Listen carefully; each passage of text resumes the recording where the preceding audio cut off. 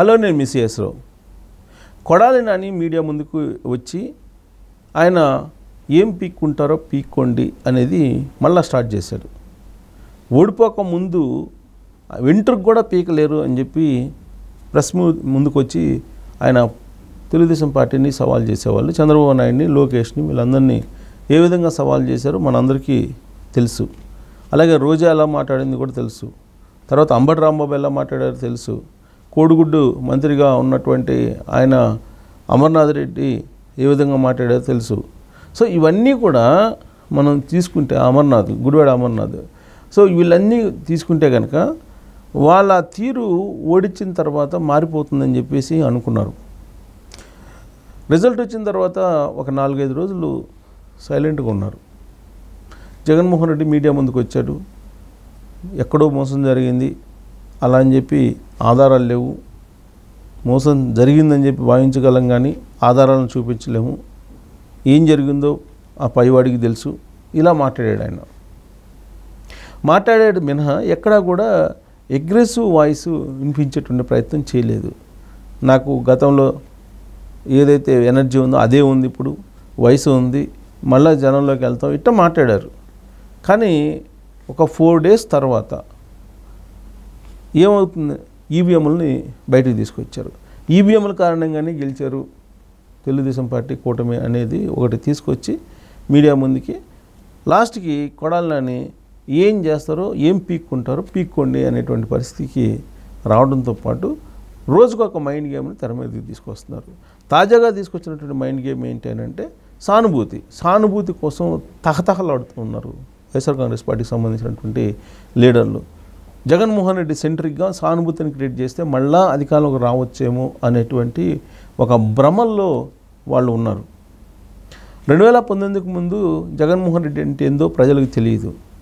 జగన్మోహన్ రెడ్డి రెండో మనిషి లోపల మనిషి పక్క మనిషి తర్వాత లెఫ్ట్ ఎవరు రైట్ ఎవరు ఇవన్నీ తెలియదు కానీ రెండు వేల పంతొమ్మిదిలో అధికారంలోకి వచ్చిన తర్వాత జగన్మోహన్ రెడ్డి గురించి ప్రజలందరికీ రైట్ ఎవరున్నారు లెఫ్ట్ ఎవరున్నారు ముందు ఎవరున్నారు వెనక ఎవరున్నారు పైన ఎవరున్నారు కింద ఎవరున్నారు ఇవన్నీ తెలుసు ఆంధ్రప్రదేశ్ ప్రజలకి.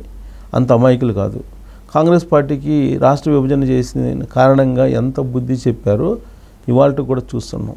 అలానే జగన్మోహన్ రెడ్డి రెండు వేల పంతొమ్మిది నుంచి రెండు వేల ఇరవై నాలుగు ఎన్నికల ముందు వరకు ఏం చేశారో ఆంధ్రప్రదేశ్ ప్రజలకు బాగా తెలుసు. కాబట్టి ఈవీఎంల ద్వారా మోసపోయాము. ఇలాంటివన్నీ కూడా చెబుతున్నటువంటి కొడాలని తాజాగా మళ్ళా సానుభూతి కోసం ప్రయత్నం చేస్తున్నాడు ఏంటి ఆయన సానుభూతి అని అంటే జగన్మోహన్ రెడ్డిని ఏదో దాడి చేయటానికో లేదా జగన్మోహన్ రెడ్డి ఇంట్లో జ్వరబడటానికో రెక్కీ చేస్తున్నారు. మీడియా వాళ్ళే చెబుతున్నారు. ఇదిగో ఇలా వెళ్ళి జగన్మోహన్ రెడ్డిని కొట్టచ్చు లేకపోతే దాడులు చేయొచ్చు అని చెప్పి వాళ్ళే కెమెరాలు పెట్టి చెబుతున్నారని చెప్పి డైరెక్ట్గా మీడియానే టార్గెట్ చేశారు కొడాలని అసలు జగన్మోహన్ రెడ్డిని టార్గెట్ చేయాల్సినటువంటి అవసరం ఎవరికి ఉంటుంది? ఎందుకు ఉంటుంది? ఆయన మంచి చేశానని చెప్పి భావిస్తూ ఉన్నాడు కదా రెండు వేల పంతొమ్మిది నుంచి రెండు వేల ఇరవై నాలుగు వరకు. అలాంటప్పుడు ఎందుకు ఆయన మీద అసలు దాడి చేస్తారు? దాడి చేసేటువంటి ఛాన్సే లేదు కదా. కానీ కొడాలి నాని బాధ ఏంటంటే జగన్మోహన్ రెడ్డి బాధని కొడాలనాని మీడియా ముఖంగా వెలుబుచ్చారు. ఏంటనంటే తాడేపల్లిలో ఉన్నటువంటి జగన్మోహన్ రెడ్డి ప్యాలెస్కి సంబంధించి జిఐడి వాళ్ళు ఆడ ఫర్నిచర్ ఇచ్చేసేయండి. ప్రజా సంపద అది. ప్రజలకు సంబంధించినటువంటి సంపదతోటి కొనుగోలు చేసాం. అవి మళ్ళీ తిరిగి ఇచ్చేయండి అని చెప్పి నోటీసులు పంపించారు. దాంతోపాటు అక్కడ ముప్పై అడుగులు ఎత్తున కంచె వేసుకున్నాడు ఆయన. ఇంటి చుట్టూరు ప్యాలెస్ చుట్టూరు జగన్మోహన్ రెడ్డి. ఆ కంచెను చూపిస్తూ మీడియా హైలైట్ చేసింది. ఈ కంచెను ఎవరు వేసుకుంటారు? ఇలాంటి కంచెను జనరల్గా సద్దాం హుస్సేన్ లాంటి వాళ్ళు వేసుకుంటారు. లేదా ఉత్తర కొరియా అధ్యక్షుడు కిమ్ లాంటి వాళ్ళు వేసుకుంటారు. కానీ జగన్మోహన్ రెడ్డికి ఈ కంచెలు ఎందుకు అవసరమా? ఎంత పెద్ద ఎత్తున కంచెలు? ముప్పై అడుగుల ఎత్తున కంచెలు. ఇవి అవసరమా? తీసేయండి. తీసేసి మళ్ళా దాన్ని రికవరీ చేయండి అనేటువంటి యాంగిల్లో పబ్లిక్ ఒపీనియన్ వచ్చింది. ఈ క్రమంలో అది కనుక తీసేస్తే ఎవరైనా గోడ దూకి జగన్మోహన్ రెడ్డి మీద దాడి చేస్తారేమో అనేటువంటి అభిప్రాయాన్ని ఇప్పుడు కొడాలని వినిపిస్తున్నారు. దాదాపుగా ఆయన మీడియా ముందుకు వచ్చి అదే చెబుతున్నారు. రిషికొండలు కట్టకూడదా? ఎందుకు కట్టుకోకూడదు? అది టూరిజం కోసం లేదంటే ప్రధానమంత్రి వచ్చినప్పుడు విడుదల చేయడానికి కోసం లేదా రాష్ట్రపతి వచ్చినప్పుడు విడుదల చేయట కో- ఇది చేయటానికి కోసం అది జగన్మోహన్ రెడ్డి కోసం కట్టుకున్నట్టు భవనం అని ఎందుకు అనుకుంటున్నారు? కావాలని యాగి చేస్తున్నారు. ఇలా మాట్లాడుతున్నారు. అది ఐదు వందల కోట్ల రూపాయల తోటి కట్టినటువంటి విలాసవంతమైనటువంటి భవనం అనే సంగతి మర్చిపోయి కొడాలని అబద్ధాలని వల్లివేసే ప్రయత్నం చేస్తున్నారు వైఎస్ఆర్ కాంగ్రెస్ పార్టీ వాళ్ళు.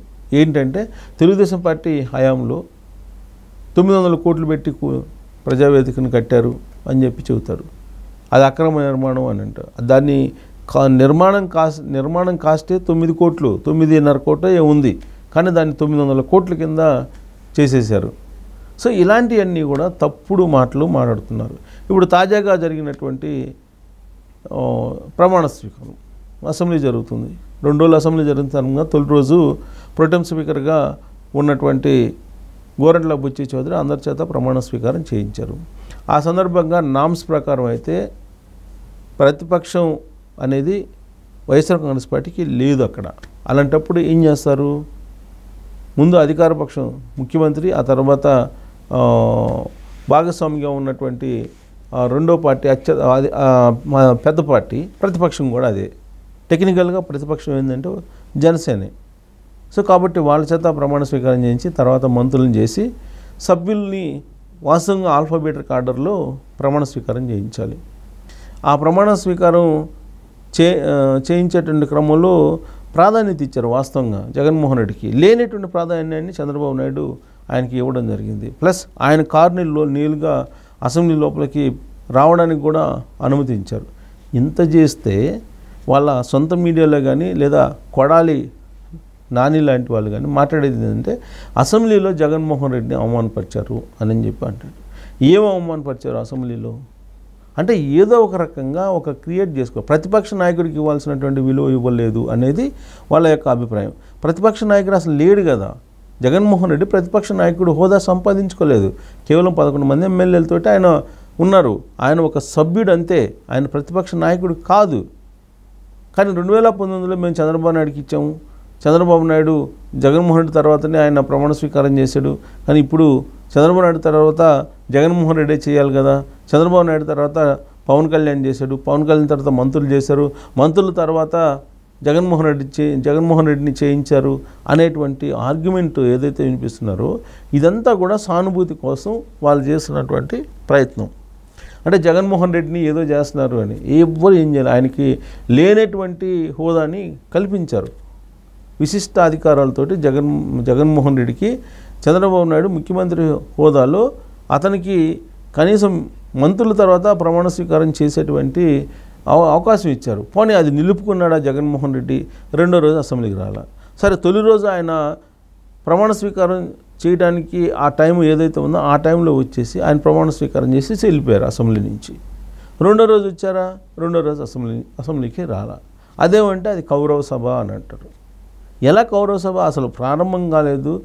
తొలి రోజు ఆ, విశిష్టాధికారాలతో చంద్రబాబు నాయుడు జగన్మోహన్ రెడ్డికి విలువ ఇచ్చారు. ఇవన్నీ కనిపిస్తున్నాయి. కనిపిస్తున్నటువంటి క్రమంలో ప్రతిపక్ష హోదా లేకుండా కూడా ప్రతిపక్ష హోదా కావాలంటే ఎలా వస్తుంది? టెక్నికల్గా రాదు కదా జగన్మోహన్ రెడ్డికి. ఇదంతా మర్చిపోయి జగన్మోహన్ రెడ్డిని బదనాం చేస్తున్నారు. జగన్మోహన్ రెడ్డి అద్భుతమైన పాలన ఇచ్చాడు.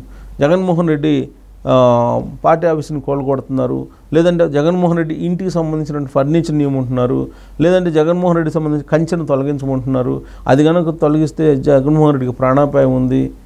రెక్కి నిర్వహించినట్టు నిర్వహిస్తున్నారు మీడియా. ఇటుపక్క దు- గోడ నుంచి దూకి రావచ్చు. అటుపక్క గోడ నుంచి దూకి రావచ్చు. జగన్మోహన్ రెడ్డి ఇక్కడ ఉంటాడు జగన్మోహన్ రెడ్డి సెక్యూరిటీ ఎంత ఉన్నది ప్రైవేట్ సెక్యూరిటీ జగన్మోహన్ రెడ్డి ఏ టైంలో ఇలా రిక్కి నిర్వహించి మీడియా చెబుతుంది అని అంటే జగన్మోహన్ రెడ్డి అతమార్చేటువంటి ప్రయత్నం మీడియానే చెబుతుంది అనేది ఇప్పుడు కొడాలని అని చెప్తున్నటువంటి మాట. అంటే ఏ రోజుకు ఆ రోజు సానుభూతి కోణం నుంచి సానుభూతి సంపాదించుకోవాలి అనేటువంటి ఒక ప్రయత్నం అయితే జరుగుతుంది. దాంట్లో భాగంగా కొడాలని మీడియానే ఆయుధంగా తీసుకొని ఆ మీడియానే టార్గెట్గా చేస్తూ ఇప్పుడు జగన్మోహన్ రెడ్డిని మళ్ళా పొగడ్తలతో ముంచెత్తేటువంటి ప్రయత్నం చేస్తూ ఏం పీకలేరు పీక్కోండి ఏది ఏది కావాలంటే అది పీక్కోండి అని చెప్పేసి ఆయన తెగ తెగించి మాట్లాడుతున్నారంటే ఏదో బలం అయితే వాళ్ళకి ఉంది అని చెప్పి అనిపిస్తుంది ఆ బలం ఏంటి అనే దాని మీద మీరు కామెంట్ రూపంలో మీ అభిప్రాయాన్ని తెలియజేయచ్చు. Thank you very much